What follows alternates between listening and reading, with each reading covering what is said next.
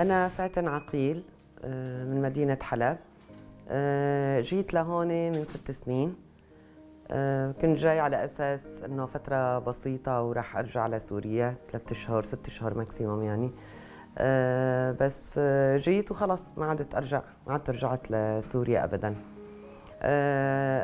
بداية أنا كنت بحلب. أول ما تخرجت أنا خريجة فنون جميلة. آه، اشتغلت بالتدريس لمدة 18 سنة مع أني ما بحبه بس مع ذلك اشتغلت فيه. آه، بعد 18 سنة قررت أني خلاص أنا بدي أستقيل وأتجه لشغل تاني للتسويق والإعلان. وفعلا اشتغلت بشركة نيسان للساعات الإعلانية لمدة عشر سنين قبل ما أجي لهون يعني. جيت لتركيا طبعا ما في شغل ما في شيء. قعدت تقريبا قريب السنة ونص ما كنت بشتغل شيء. أه بديت بعدين أه مع غربتنا. أه كان في تطبيق وموقع كان بدايته يعني وبداية تسويقه. فأنا أخذت استلمت تسويقه كموقع وتطبيق. بعد فترة صار في مجلة غربتنا من ضمن الشبكة.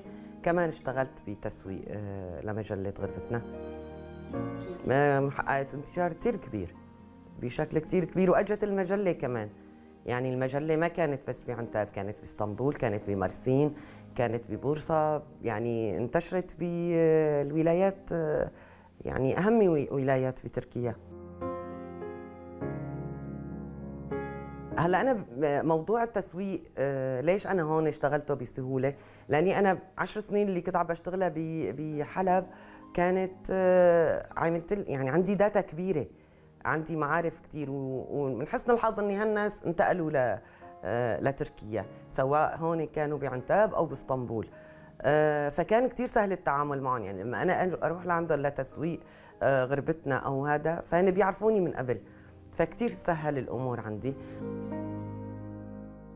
هلا أنا الصعوبات الحمد لله يعني اجتزتها من أيام ما كنت بحلب لأني أنا طول عمري بشتغل فكنت عارفاني أعمل كنترول ما بين بيتي ما بين آه، شغلي آه، ما بين أولادي حتى كنت أخليهم يعتمدوا على نفسهم كثير آه، أكيد بيت حماي كانوا بيساعدوني بيساندوني بهذا الموضوع. بس الحمد لله لا يعني الأمور كانت ماشية. يعني ما عندي صعوبات إنه أنا سيدة آه، أسرة أو عم بشتغل ما كان عندي هاي القصة مش تستا من زمان. هلأ هون شوي كان في صعوبة كله جو جديد لغة جديدة ما عم نعرف نتعامل مع الأتراك. أه لكن كمان بحس حالي إني كنت محظوظة إني أنا في ناس بعرفها من قبل. هي فتحت لي المجال هي ثقتهم فيني بحلب هي اللي خلتهم مثلا يثقوا فيني هون. فمن سنة ونص تقريبا قلت خلاص أنا بدي أعمل شيء خاص فيني يعني وبديت آه، بمشروع موستاش آه، موستاش بديت فيها من سنة ونص. آه، فكرة موستاش هي كل شيء إعلاني سواء إذاعات أو تلفزيونات أو social media أو تصميم مواقع ومعارض ومؤتمرات. فكرة بقى معرض ورد اللي صارت نحن عملنا شيء اسمه عالم سيدات الأعمال. اللي هو آه، يعني وليد منتدى الاقتصادي. عملوا لنا مجموعة من سيدات الأعمال سواء اللي بيشتغلوا من بيوتهم أو اللي عندهم شغل يعني حر. وبدينا نتعرف على بعض. ففي أنا ورانيا وآيات. كنا مرة هيك قاعدين هن أجتهم فكرة إنه هن مشاركين بمعارض سيدات الأعمال المهن الحرفية يعني. فاجوا عم بيقولوا لي حابين نعمل معرض هون بالأغور. بما إني أنا مكتبي بالأغور فإنه اسالينا وكذا.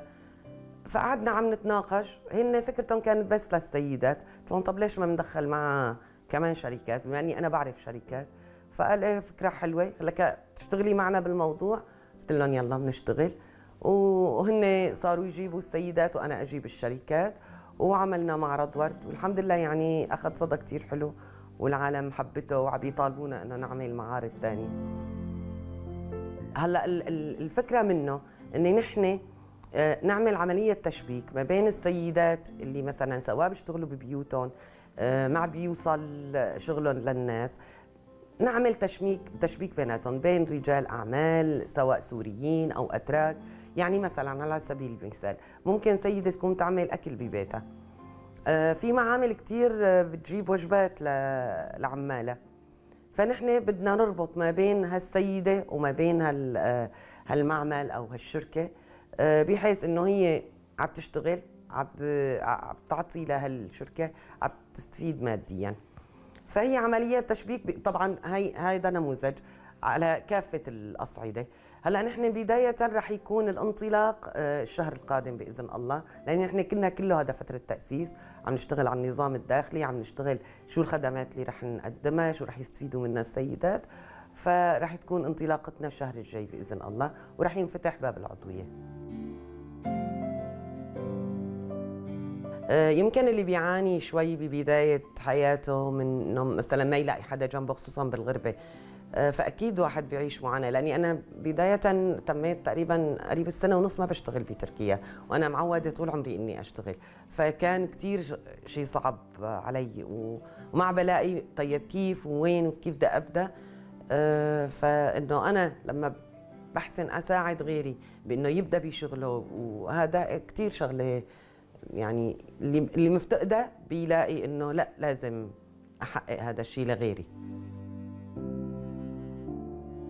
هلا هو العمل هو أمان هو استقرار ما مو أكثر من هيك. يعني ما عندي طموح إني أصير مليارديرة ولا أعمل مصرات كثير لا أنا بس إنه أعيش بكرامة اولادي اوصلهم لمرحلة يكونوا فيها أه بأمان. يعني هو الأمان بس لأني نحن ببلد فاقدين فيه الأمان.